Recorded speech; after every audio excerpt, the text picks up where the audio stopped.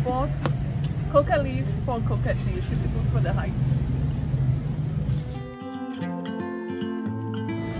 Okay, just leaving Yungay here. This is Paso de Armas, Yungay. Now it's beginning to have like a flashback to uh, Nepal. Uh, because it's like road conditions now it's beginning to be a bit more like gravel. Okay, July the 12th, 2024. This is the day the adventure starts for us here in Peru. Today we're heading into the Cordillera Blanca mountain range, which means a white, well, a white mountain range.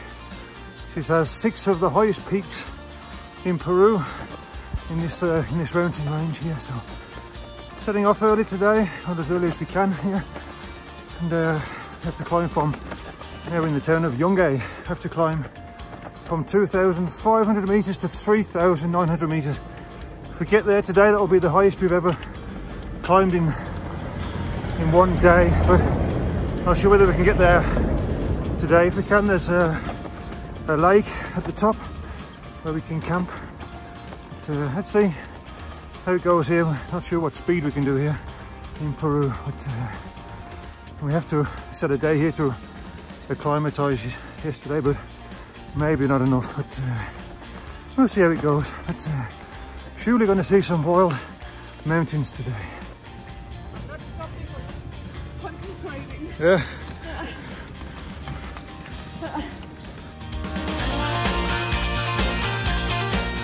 We've now climbed the first 100 meters in altitude. 1,300 to go. And Jamie's already setting the pace there. He loves climbing these mountains.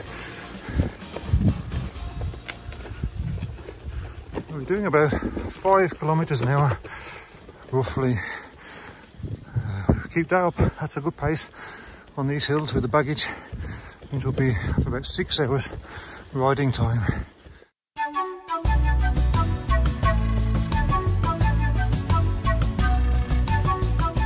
Okay, if you're wondering about the weather and the temperature, it feels probably about 23 degrees. Another glorious day of sunshine and uh, pretty much no wind at all. So it's uh, perfect uh, cycling conditions at the moment here as we make our way up the mountain. We're at 2,800 now. 2,800. Yeah, going well. Yes, yes, yes. Well done.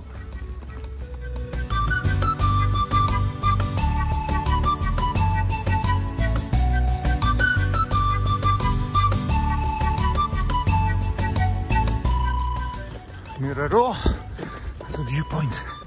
I'm not joking. See why they call it a viewpoint?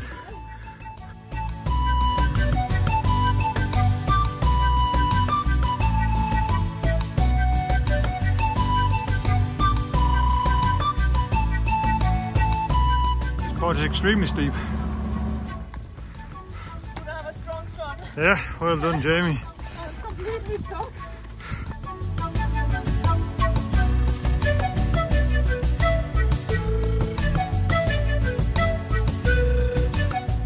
We just passed 3,000 meters.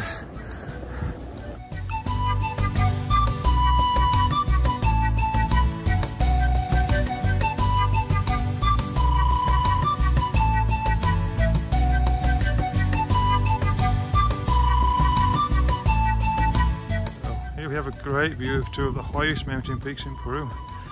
Here we have Huandoy and here we have Huascarán here, this huge mighty mountain now that's just towering above us now. What an incredible view we have here.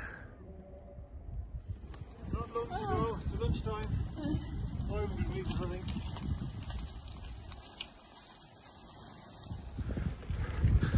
So, so we can stay here for lunch. Does it look okay, Jamie? We're just running out of energy. That's good, it's lunchtime. I'm really tired. I'm hungry now. That's good, it's lunchtime. Time for a Oh, rest. can get some food here and have a break.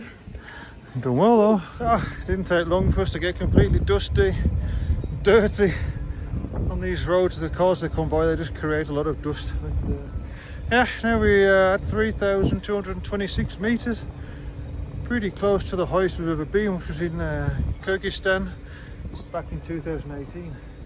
So we just have a rest now. Our legs are going to be tired and uh, have something to eat and then let's carry on this afternoon. Even wash the dust off your hands here. And uh, we're going to sit there and have our lunch. Good place, yeah. It looks like they're cooking there.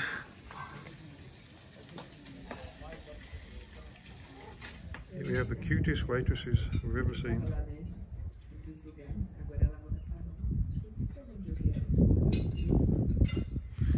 She's coming with somebody's order.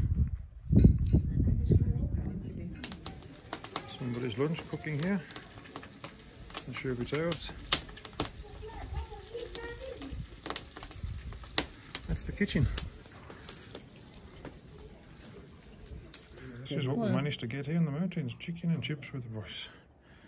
And of course, Inca Cola. For the last energy for the next part of the trip. Rolling here again after lunch. A bit later than I expected. It's now 3 o'clock in the afternoon. We've got 10 kilometers until we get to the first lake. So uh, it'll be about two hours riding time.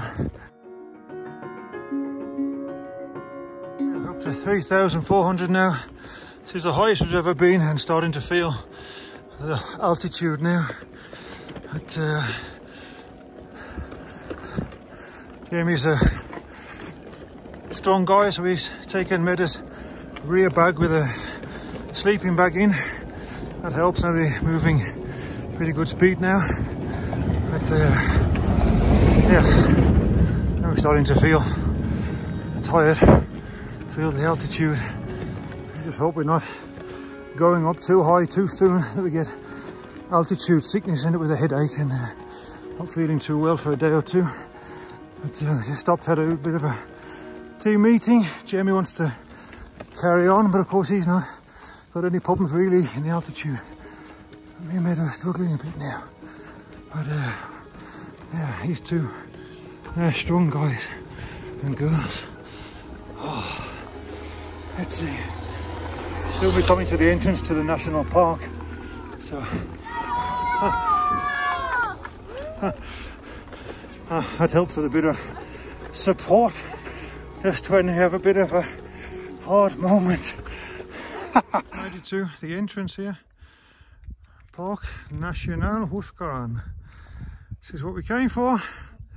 We just have to pay a fee here. I think it's 30 soles I can see there to uh, to enter the national park. So, okay. We'll go and see if there's somebody there. Yeah. Okay, ticket office was actually closed there to the entrance to the national park, so we just uh, been thinking what to do, whether we actually could camp there at the ticket office, but the security camera is set up there, so we decided just to go back down the hill, just uh, one and a half kilometres to a hotel campsite that we saw as we came up earlier. So it's a bit of a shame. We were planning to go up to the lake today, but we're not going to risk going into the national park without a ticket. So this is the restaurant we're gonna eat tonight and we are camping up here and it's amazing. It's we found a, a guy told us that we could uh, sleep here on this green spot here behind the restaurant. And the funny thing is that uh, there's what do we call the Piglet camping. so now I'm gonna show you why. This is the pigs. You can see here. Yeah. Åh, jeg fik du er sulten?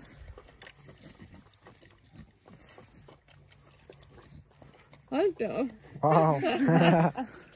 wow, hvor den der?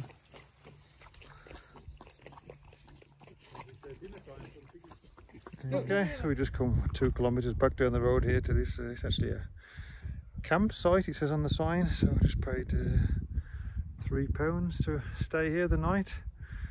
And uh, yeah, probably a good idea. I think getting a bit light-headed just uh, putting the tent up over there. So probably a good idea. I think we stay here tonight and uh, have a night in our tent. That would be great. We can even have dinner in the restaurant there shortly. So uh, yeah, then in the morning we'll get up early, go back to the ticket office. Hopefully it will be open this time, and we'll cycle 500 meters more up to uh, the lakes. Is where I've been uh, wanting to visit for a few years. I've been looking on the map at these lakes, so uh, look like a pretty amazing place. So uh, I'm pleased we can, yeah, probably have more time tomorrow now. It would have been a bit of a rush if we went up there now. So we would have got there late and it goes dark here just about six o'clock. So we would have got up there and it would have been, wouldn't have been dark, it would have been a bit rushed. So yeah, something else has decided where we should stay this evening. So we'll stay here, have a nice evening, get in the tent, sleep in the tent, nice dinner and get back on the road, carrying up the mountain tomorrow. Well, that was great with the shower, get all the dust off.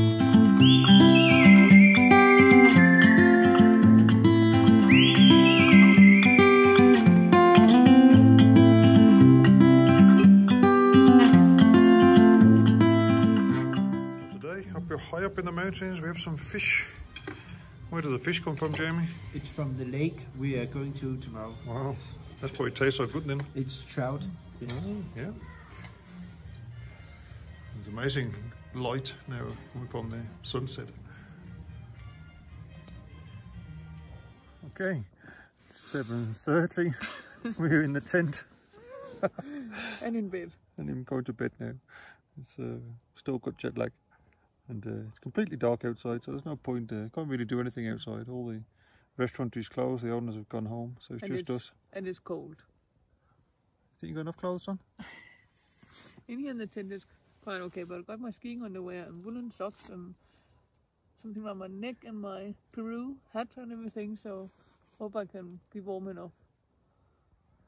We'll see. Yeah. let you know in the morning. Yeah.